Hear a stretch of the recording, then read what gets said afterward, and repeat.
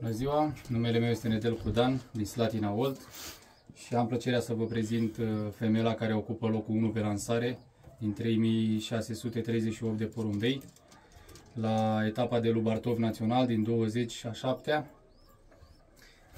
Femeia cu seria 13, 25, 365 de 2022 uh, Femeia a sosit uh, seara la ora 20.50, uh, fiind doar patru porumbei intrați uh, seara.